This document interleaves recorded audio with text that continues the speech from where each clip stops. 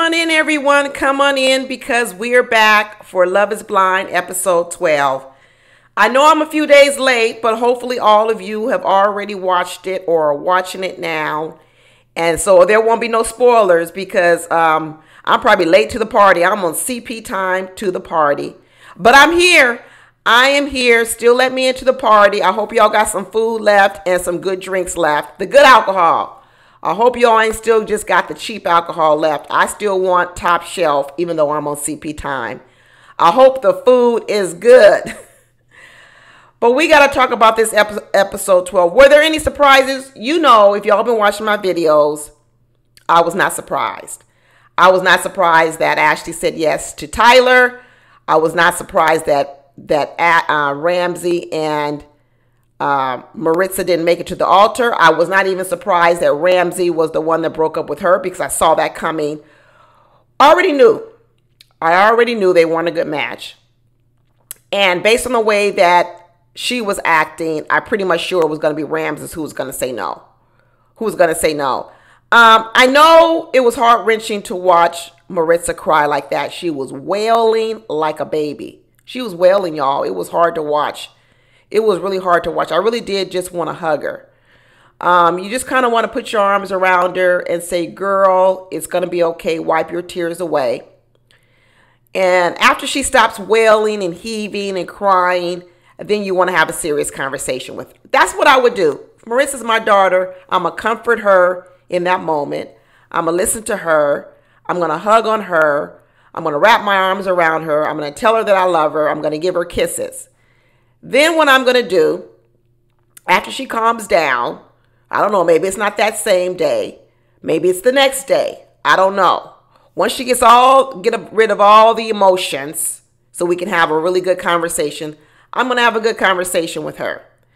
And the conversation that I'm going to have with Maritza is going to be about he was never the guy for you anyway. He was never the guy. And I'm going to tell you why he was never the guy. And you were never the girl for him. He wasn't the guy for you, and you weren't the girl from him. So if I just start off talking about he wasn't the guy for her, I'm going to say you really should have found out more about that ex wife how that marriage ended because the story that he told was that his wife got too into the church, into God, and it wasn't what he wanted to do. But yet he used to be in the church, he was in the ministry. So it wasn't as if he was dating this woman and she got into the church and he never wanted to be in it. No, he started in the church. That's where that woman met him. And it looks like that even though they broke up, the family still loves and adores the ex wife. So much so that when he called to tell the family about him getting married again, they told him, not again. Are you going to do this woman what you did to the woman, the other woman, the ex wife, the one we all still like, the one we still see at church, the one we still follow on Instagram? Because you broke her heart. She's still broken over that marriage, the fact that you did her the way you did. Are you going to do this to another woman? So they put a guilt trip on him, but rightfully so. Because what Ramsey tells us is he doesn't think, he leads with his emotions, he makes emotional decisions. I said it from the beginning that this relationship was shaping up to be almost like a Ramsey had the female emotions and um, Marissa had more of the male emotions. You see, this was the dynamic they were setting up from the beginning when I was telling you that Marissa really is very bossy.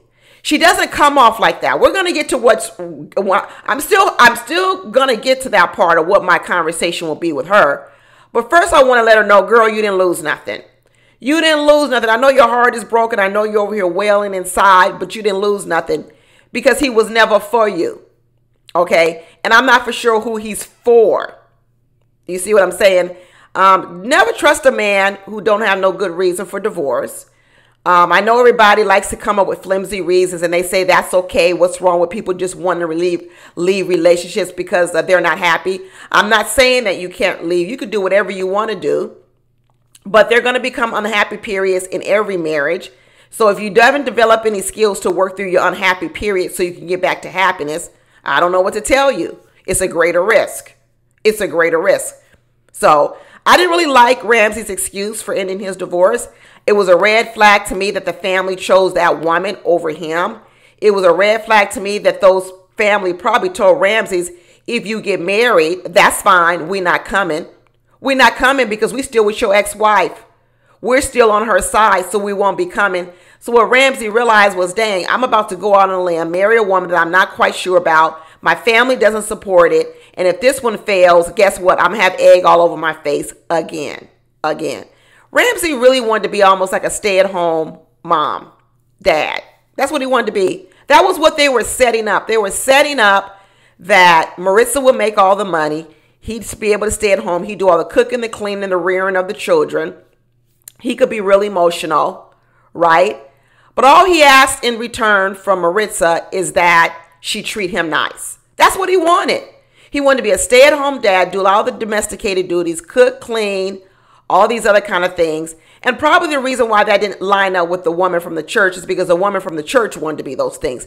The woman from the church wanted a more traditional marriage where she might have been the one staying at home with the kids, maybe doing more of the domestic duties, playing the more feminine role in the relationship. But, but you know, she had to fight with Ramses, Ramses with a roach clip. I know y'all want to call it some, a braid. It's not a braid.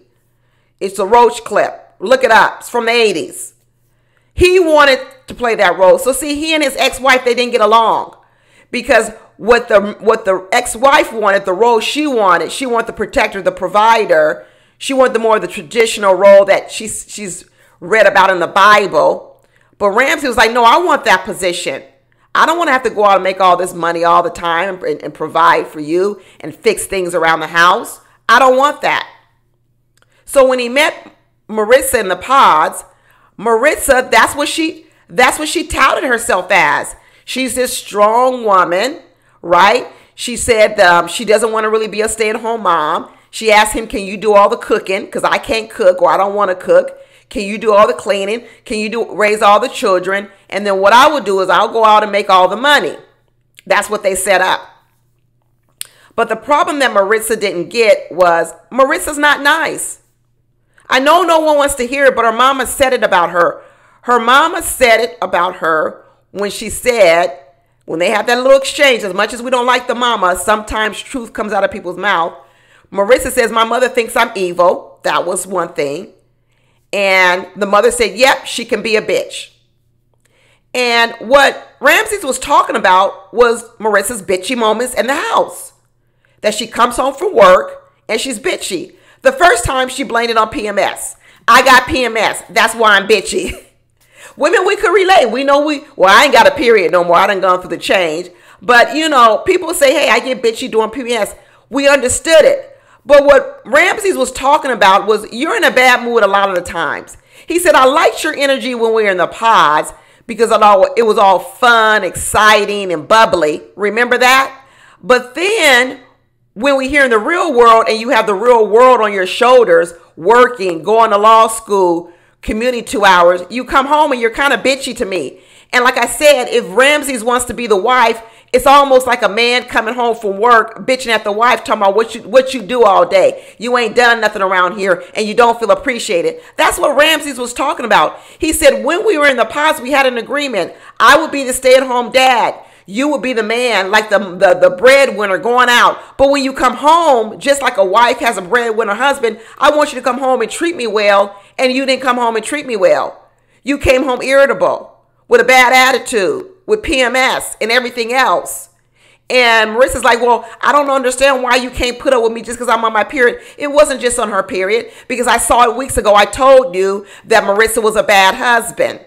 I told you she was going to be a bad husband because she was bossy and she was mean. And what she wanted to set up in this marriage was a dynamic where she could be the female when she wanted to be the female, but then be the male when she wanted to be the male. I said before that Maritza's a chameleon. She doesn't know who she is.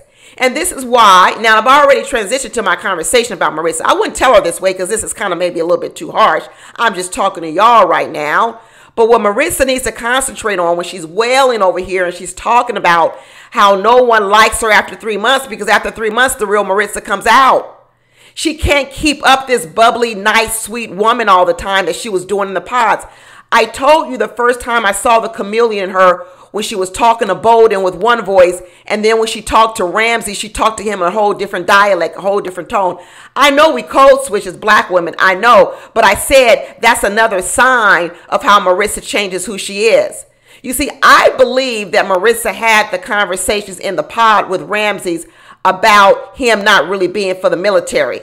Because when Ramsey came out of those pods and started saying all that stuff about people in the military, basically his disdain for them, I was like appalled by it, appalled by his, some of his views. A lot of his views I'm very appalled by. But what I believe is that Ramsey shared these views with her in the pods. And what Marissa did was she said, she just pretended like they weren't that important to her. She pretended she was someone else. She pretended she was the military person who really didn't like the military. So Ramsey's like, okay, I can be with you because now you're a person who, yeah, you were in the military, but now you're willing to denounce the military. Okay, I'm with you.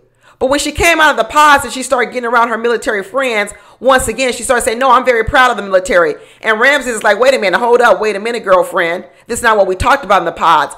You were one person in the pods, and now you're another person. Who are you? Ramsey says, I don't want nobody in the military. Now, if you would have told me you was in the military, I would have told you in the pods you weren't for me. I don't believe that Ramsey lied to Maritza. I don't. I believe Maritza lied about who she is to Ramses. And she doesn't probably know she's lying because I think she's been doing this all her life. Because the fact that she tells me she has a history of men being with her and then leaving her tells me she's not presenting her real self. She's presenting a person who she thinks those men want. Just like she marries all these military men, she gets with them, that's who she dated. Those men do not want the strong women, uh, boss chick women. They didn't want them. They wanted women who were going to stay at home, raise the family while they went off to war and fought the war and they were the hero. That's what they wanted. That's not Maritza. So Marissa would pretend to be that woman with these military men. But as time went by, she probably started becoming more bitchy and argumentative. And they were like, I don't want this type of person. Boom. You good for the bedroom because that's one thing we know Maritza's good at, the bedroom. She don't she done developed a few skills when she's in the mood. And after that, the men are gone. They're all gone. She's telling the same old story, but what she keeps thinking is, oh, it's the men I'm choosing. Well, it's also who you are and the men who choose you. One thing, the reason why she cried so much with Ramses is because she said he was the first person she could be herself with. And what she's saying is, he's the first person I could take on more of this dominant role. He was okay with me being the breadwinner. He was okay with me not raising the children. He was okay with me being more of a shot caller or whatever. And so she felt I could be more of myself around him. And she was so happy about that. But the part that where you weren't yourself was the bitchy part. You a mean husband, um. I hate to tell you. Your mama even said it, and Ramsey is saying it. Both people are saying the same thing. Ramsey is saying that your energy, our energy doesn't match well in the house. Your energy was great in the pods when you were bubbly and you were nice. But now that we're living together, you're kind of bitchy, you're kind of mean. And that's what the mama said too, that she's evil and she's bitchy. And then when she tells us she used to date men and they love her in the first, they love her personality and her energy in the first three months, but after that, they don't want her. Everyone is saying the same thing. Everyone.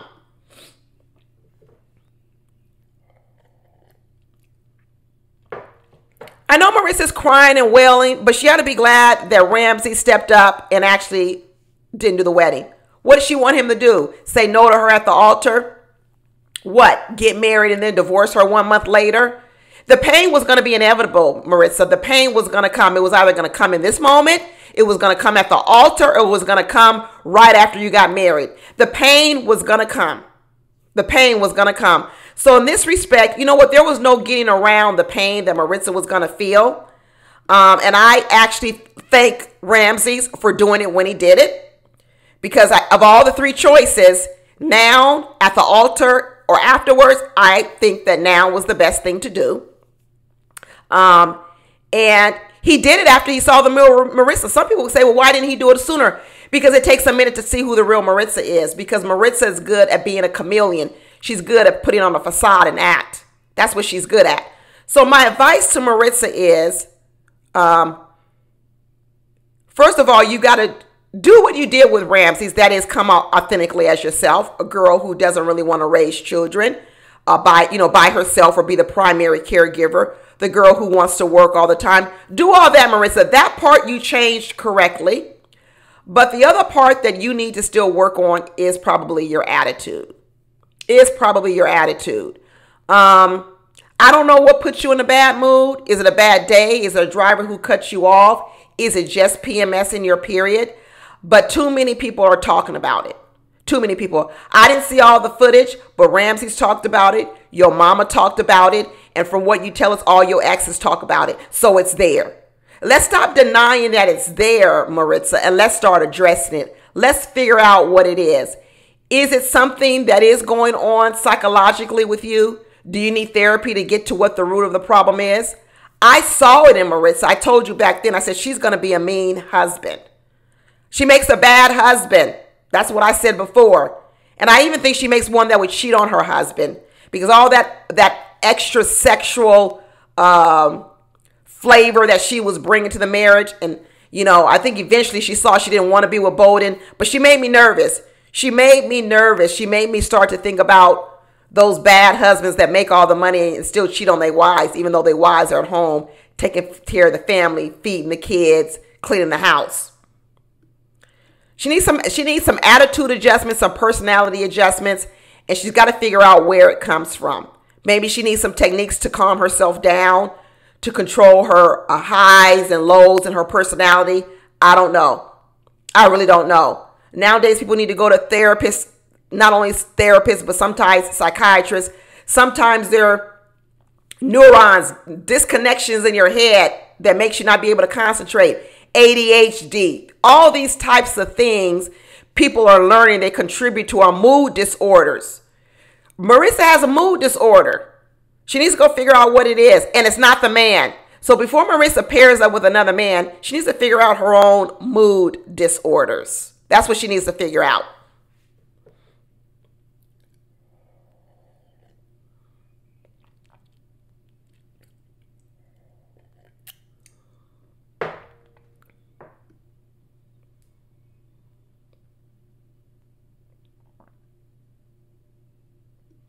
So that's what I would have ended with Marissa. I would have ended with, after she calmed down, I would have ended with, he wasn't the right person for you, but let's see what we can come up with so that maybe this is the last time you have to go through this pain, Marissa. Let's really look at what's going on with you before we just give all our attention to how bad the man is. Because you're the common denominator. And so I think if we do some work with you, Maritza, maybe we can make you a better person so that you pair better with another person. But we got to know get to know who you are, what you want, and you have the confidence to show that person authentically and also be able to have some more control over your emotions. You know. Um, that's what I would be that's what my advice would be to Maritza. And then if I move on to my next niece or my next daughter, with which would be Ashley, y'all gonna be mad at this too. But um, I'm at the wedding if Ashley's my daughter or my niece, regardless of how the way I feel about Tyler, I'm at Ashley's wedding. I'm hugging her, I'm kissing her, I'm wishing her well, I'm praying for her. Okay? I'm just that type of person, y'all. I might give you advice, hard truth, um, but in the end, when you say to me, I understand what you're saying and I hear you, but it's still what I want for my life, and I'm just so very happy I'm going to get on your happy train. I'm not going to be the person on the sideline saying, because I don't agree with you Mary Tyler, I'm not coming to your wedding. I'm not supporting you. I'm just not that girl. I'm just not that girl. I'm going to be at your wedding. I'm going to love on you. I'm going to be there as an extra shield of protection for you. I'm going to tell Tyler, I got my eyes on you. The minute you step out of the line, the minute you do any of that dirty work that was done before, my foot's going to be 10 feet up your ass. I'm going to be on you. I'm going to be on you. And you and Ashley may love you now, but you still got some proving to do to me. That's fine that she loves you. I'm good with that. I'm going to support her, but you still got some proving to me to do. And you know what? I'm all for second chances. You know, I'm watching this show over here, Love After Lockup. Women are over here loving on men that've done uh, jail time for 18 years, prison time. They've lied to a lot of people. They've lied. I know we're talking about Tyler's lie to Ashley about he didn't have any kids. I know we're talking about Tyler's denying his children. I know these all egregious lies and acts, but people forgive other people of egregious lies and acts all the time.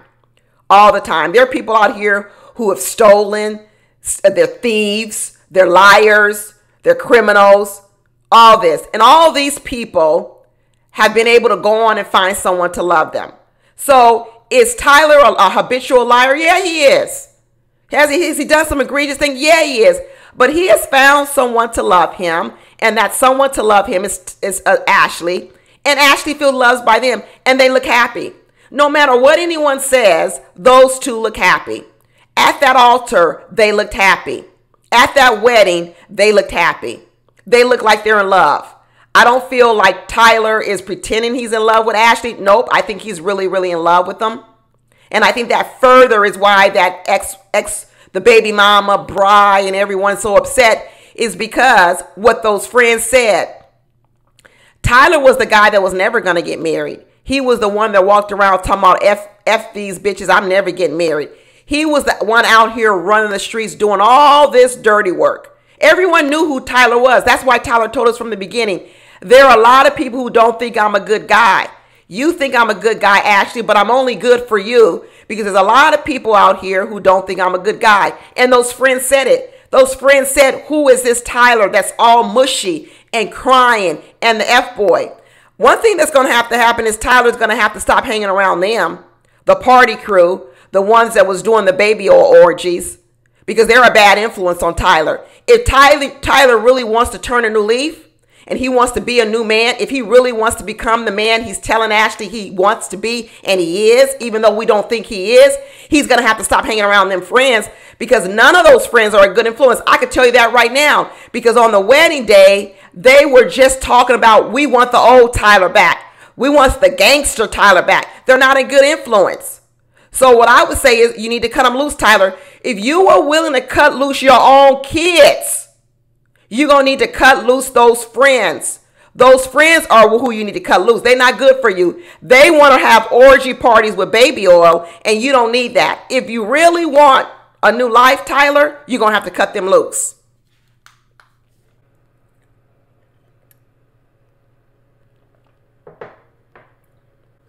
Then I would tell Tyler and Ashley, that's fine. You want to cut loose, cut loose these kids in, in the immediate for this year or whatever because you really need to work on your own relationship. And right now it's too heavy for all of you to take all of it one. That's fine, but you're going to have to make that right.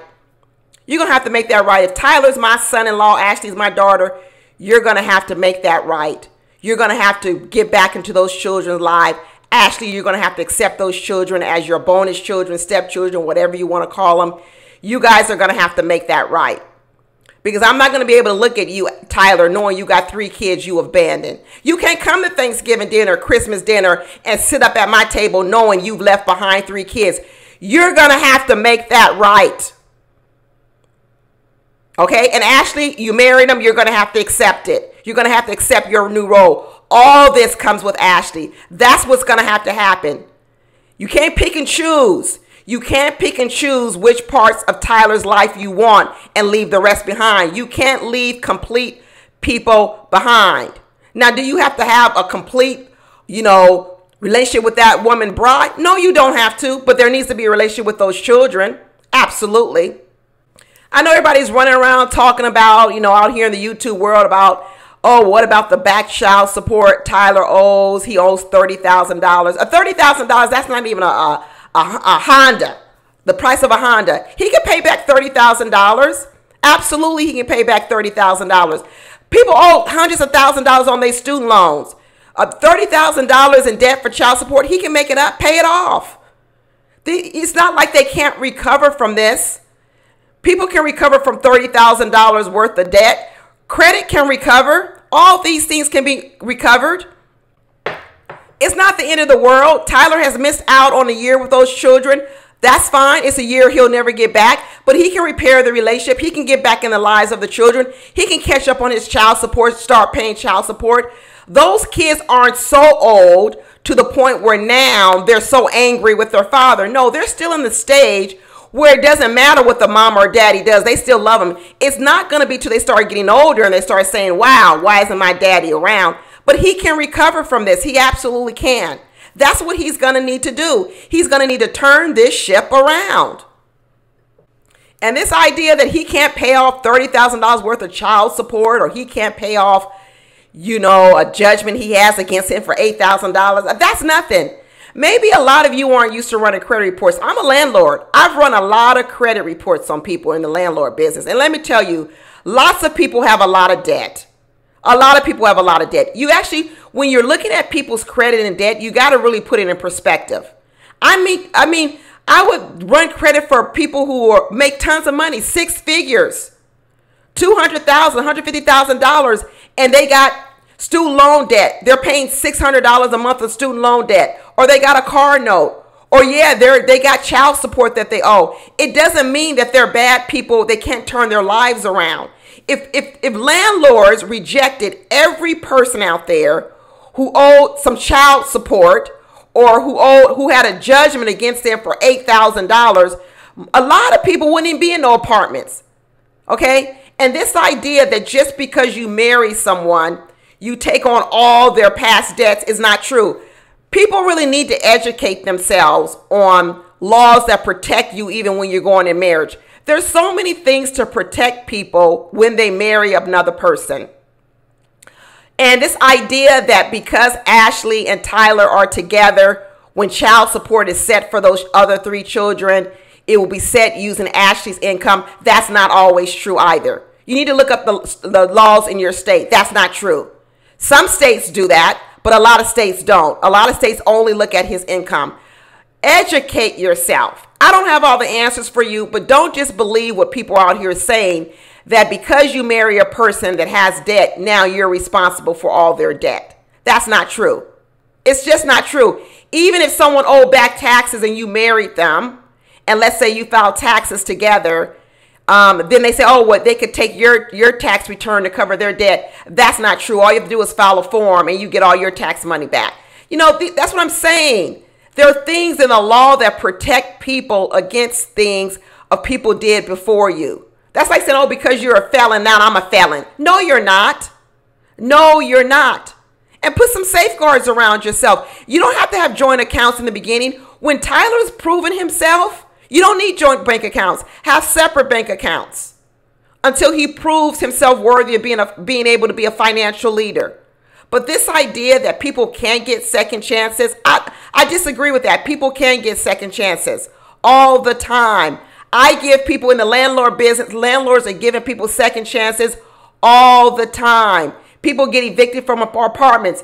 People run into financial problems. Somebody's got to give them a second chance prisoners come out of prison. Somebody's got to give them a second chance. And I'm not saying everybody has to. You don't have to be the person that gives people second chances. There's nothing wrong with you. There's nothing wrong with people who don't want to take certain risks. There's nothing wrong with people who say, you know what, I would never invite a homeless person into my life. They might, I don't know. There's other people who say, no, I want to give a homeless person a second chance.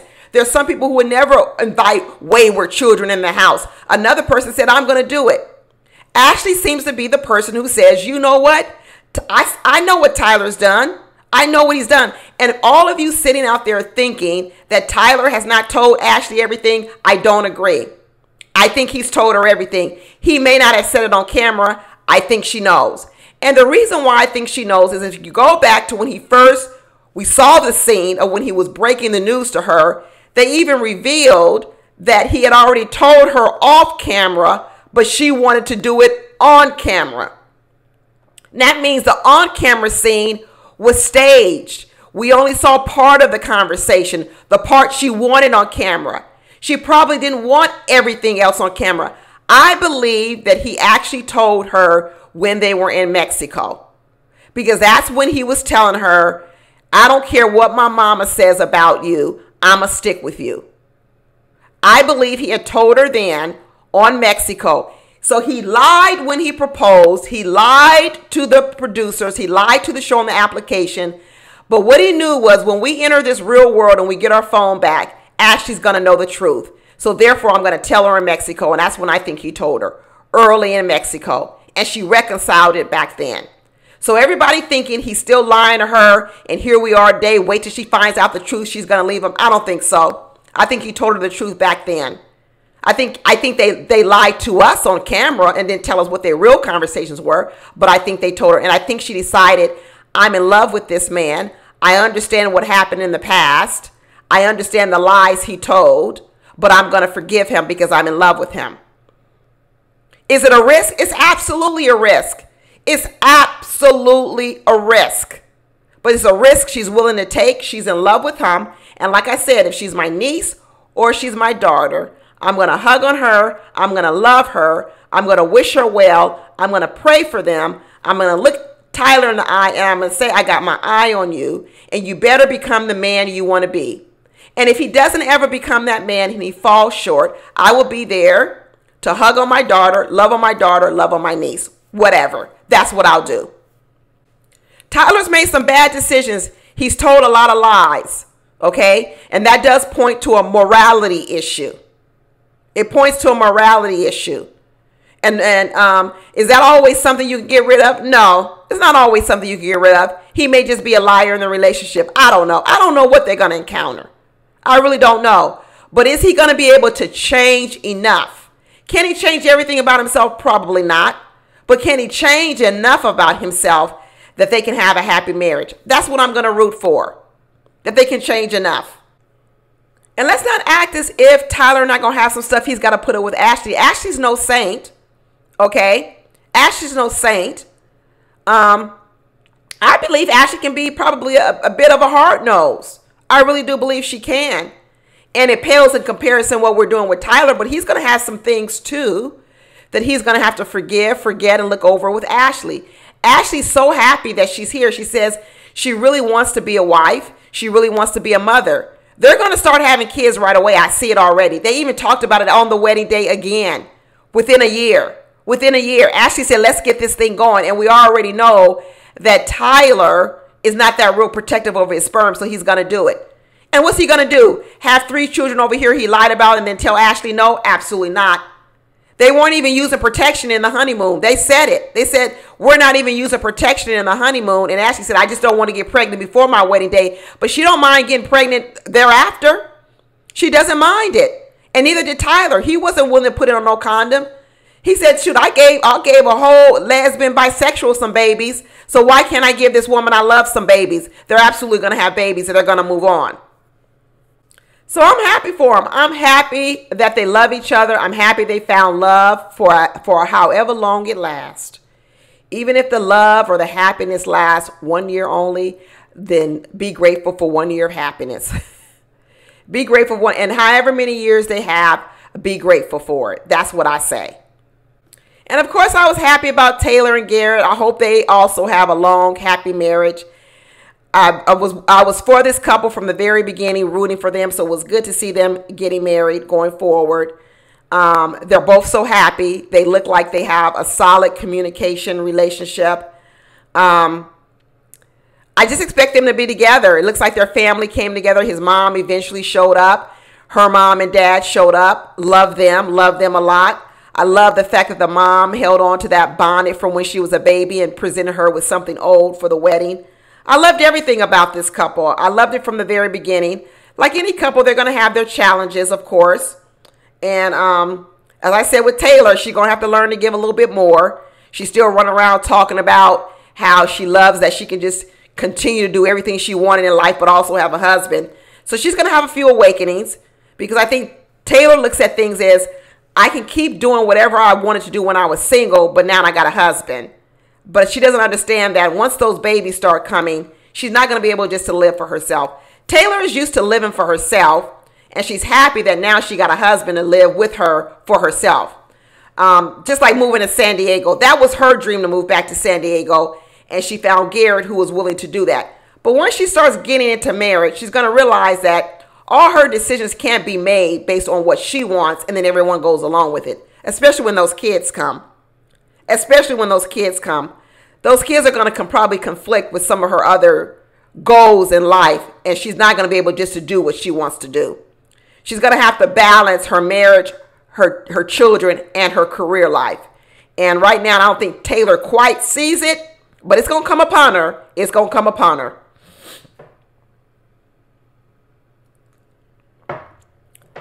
But we'll see. Everybody got married on the 13th. Her parents got married on the 13th. His parents got married on the 13th. And now they're getting married on the 13th. Wow. Isn't that something? Isn't that something? But I'm happy, y'all. We got two marriages out of this season. And so it's a winner. I always say that if I could watch any of these reality shows about dating, marriage, and we get one couple, I'm happy. I don't need everybody to make it. I can be happy. So we got one and a half. We got one good one, Taylor and Garrett, and we got half of one with Tyler and Ashley. But I'm happy for Tyler and Ashley because they look happy. They look happy. And so therefore, I'm going to root for them. I'm going to pray for them. And um, I wish them well. I hope at the reunion time comes, I hope they're still together.